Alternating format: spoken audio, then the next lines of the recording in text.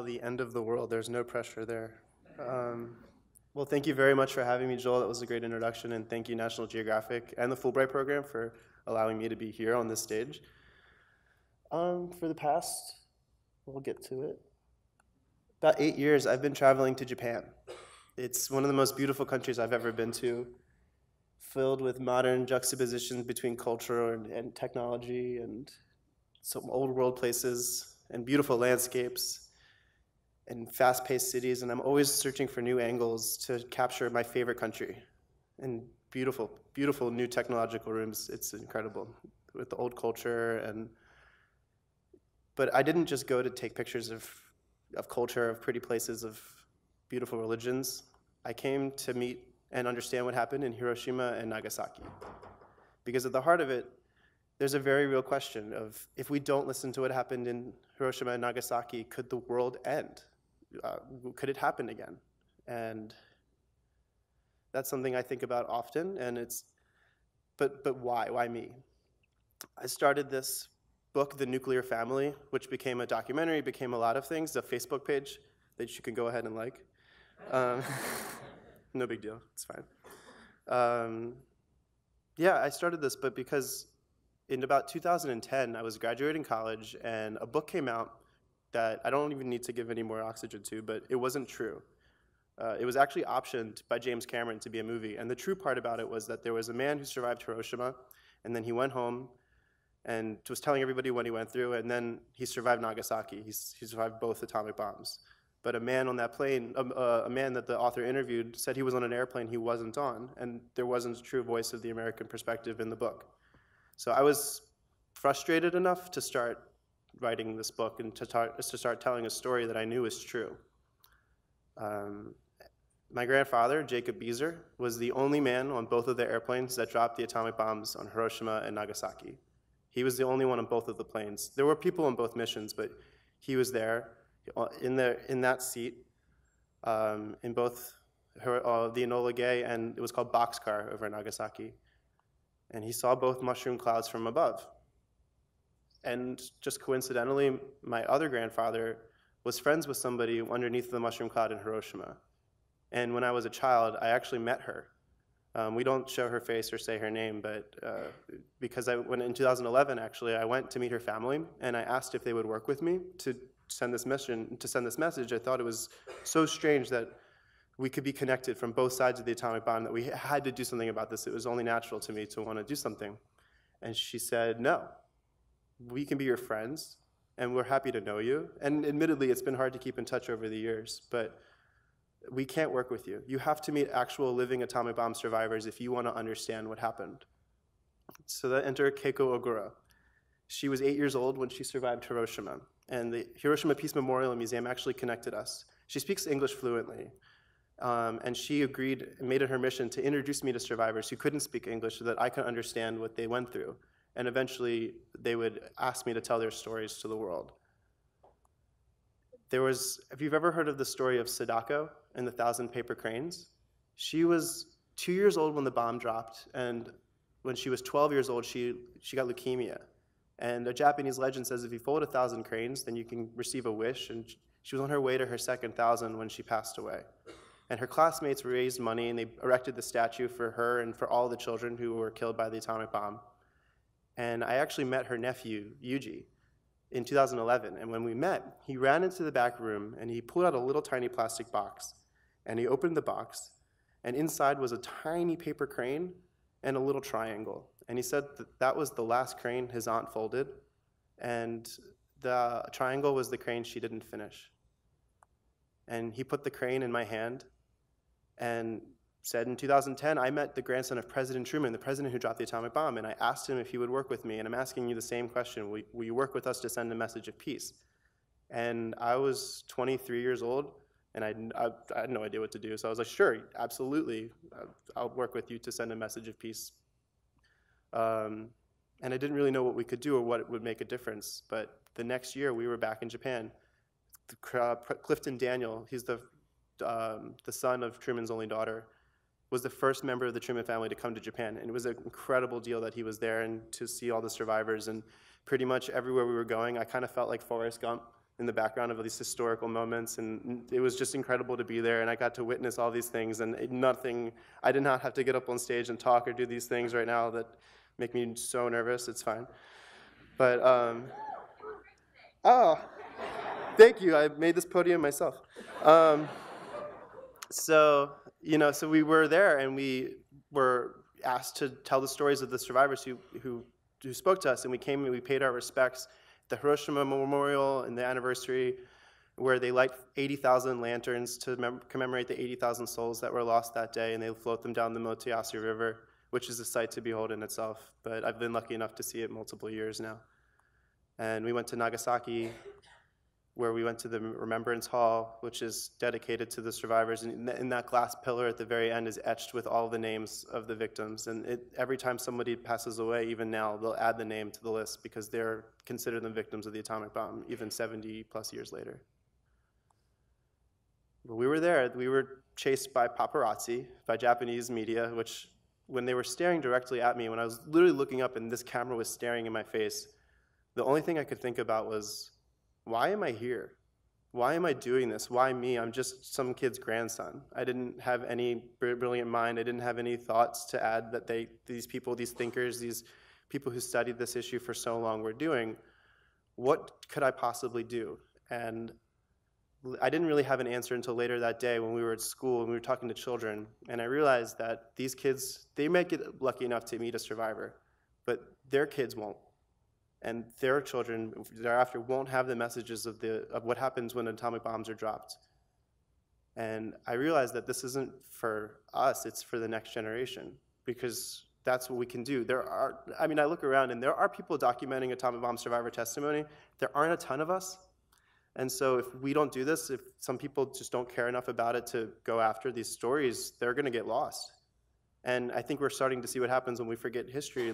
The people are forgetting the Holocaust and well, there's a bit of a problem right now with hate crimes, if we haven't noticed. But I'm really worried that when you forget something like this, you don't get to undo that mistake. We can, undo, we can unlearn racism, we can combat that, and it's something that we can live through and survive. But if we drop another nuclear bomb, if we forget what happens when those bombs are dropped, then it's not just military cities. Hiroshima and Nagasaki were home to thousands of children. So this isn't something that you can just write off and, and say, well, this is one thing, it's another. It's, it's, it's a very real thing that could happen again. And it's, we need better stories surrounding the topic that we can engage with, that we can do something with, because they just aren't there. And nobody's really, but people are making them, but it's always a hard sell. Nuclear stories are a hard sell. And yet it's interesting that that world could very well end, and everyone's like, oh, nuclear stories don't do well. Was, yeah, well, the world's not going to do well if we don't tell these stories. So pick and choose. So that's when I got involved with the organization that was really driving all of these introductions and meetings. It was Hibakusha Stories. Hibakusha are the atomic bomb survivors in Japanese.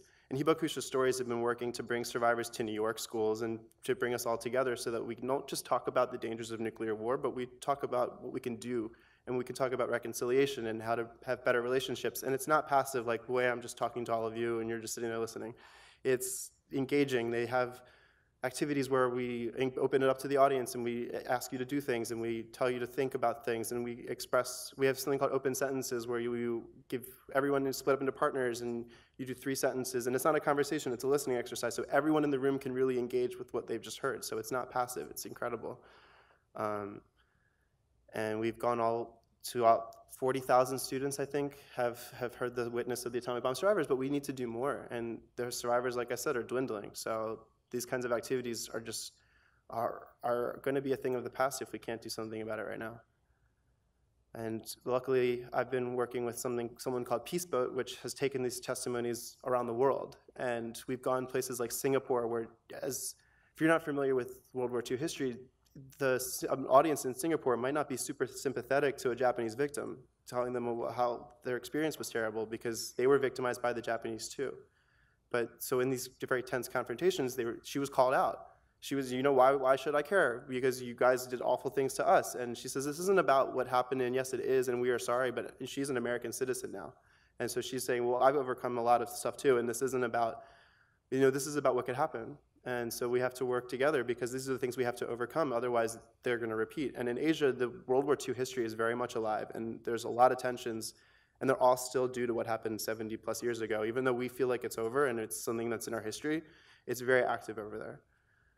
And it's all connected. Like Miyata-san and I, and all of us were in Auschwitz together, where they got to meet a survivor. And that, that talk about intersectionality, it was really um, incredible to see these two people share this human suffering in a way that it wasn't political. It was just looking at you from one person to another. And we were walking in, in Birkenau, the death camp, and he had this realization. He goes, huh, Jewish scientists escaped Nazis, helped America build an atomic bomb, and it was dropped on me. Everything is connected. And we became as close as family. They are like my grandparents. They're, and, and I was looking through all of my photos. I was trying to think of what's the one that could really signify family. And I couldn't escape this one. Uh, this was, I mean, I'm looking through, oh, I have so many photos on my phone.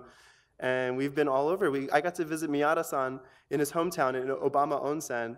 And I'm pretty sure very few members of the crew's family can say they've gone out drinking with atomic bomb survivors um, and done karaoke and saying Guantanamera in the streets at 2 a.m. It's fine. This is what we do because this isn't just about their testimonies. It was about getting to know them and the people that they were. They're not just survivors. They're they're people. They're awesome people. They're they're all with their own characters, their own stories, and that's the thing that I've been lucky enough to get to know the most. And they've introduced me to the depths of Nagasaki, for example, which many people don't know has a very deep history with Christianity, with hidden, hidden Christianity, where the Christians were persecuted. And when the atomic bomb was dropped, it was dropped directly on top of a cathedral and had just finished Mass.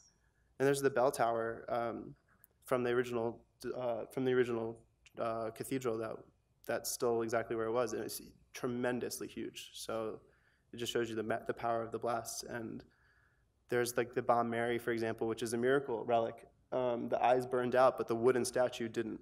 And so it's um, miraculous that it survived from the Urakami Cathedral, and it's still there now. And Ogura-san, she took me to exactly the point where she was when the bomb was dropped. When she was eight years old, she came up to that hill and she pointed out and she could show me that basically you could see the sea. All of those buildings that you can see were flattened, and it was just, it looked like you could walk to the water, but it smiles. And I was been lucky enough to be at the intimate moment. For my, my first time to see the Enola Gay was Yamamoto-san's second, the first time being 70 years ago when it attacked him.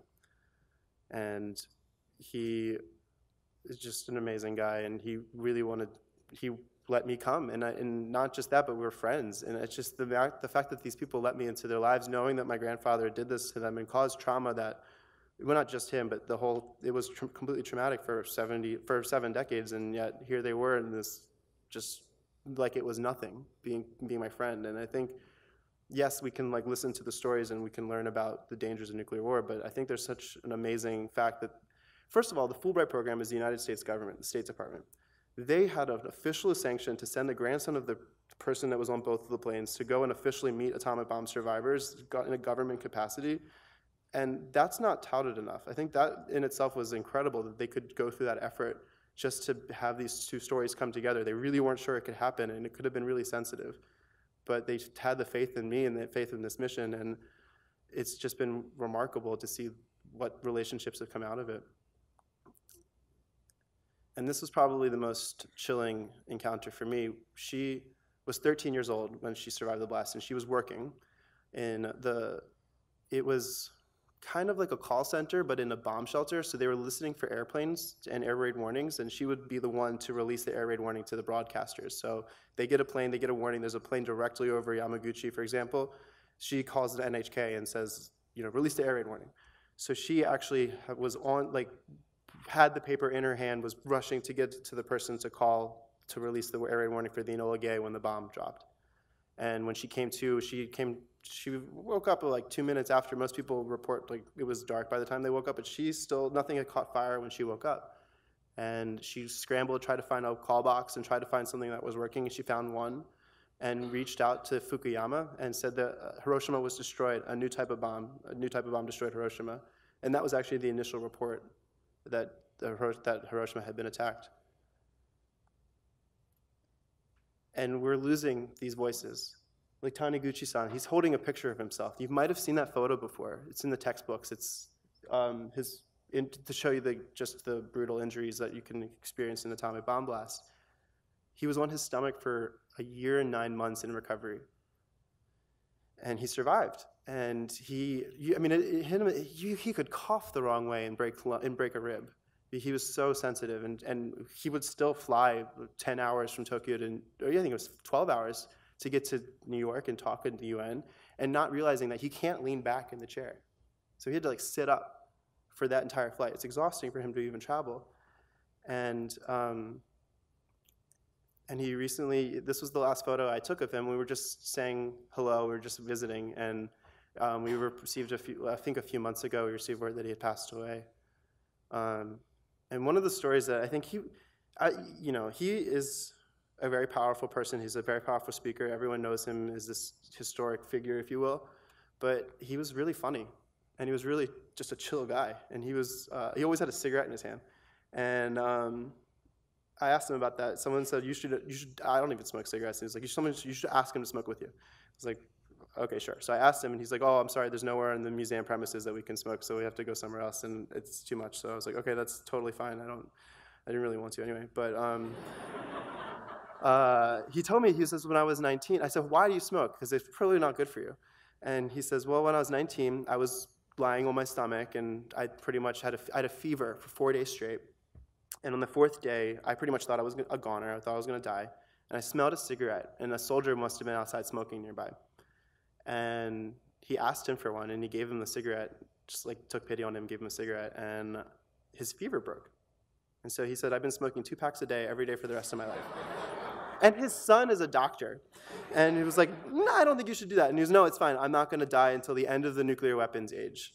So uh, I, I, I, don't know. I mean, you know, uh, he did pass after the treaty passed, so I don't know if there was anything to do with that. But I really, really believe he was holding on for a really long time. He got pneumonia when he was 86 years old. He did have to cut back smoking.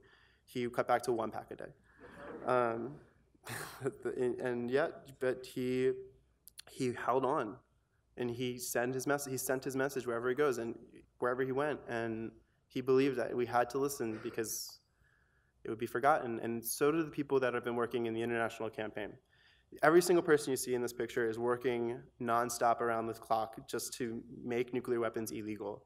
And well, the treaty passed with 122 countries in the United Nations voting to adopt it, but um, it didn't just pass. It takes a lot of hard work and a lot of lobbying and a lot of explaining in first committee side events and uh, conferences around the world that people are putting in themselves to go to. No one just pays you to go. There's not a lot of money in nuclear disarmament. Um, there really isn't, and we, I think there would be more um, people involved if, if who get paid to do this. But you, you know, you really um, get because of that, you really get the most passionate people on the issue, the people who really can afford to take their time and to talk about this.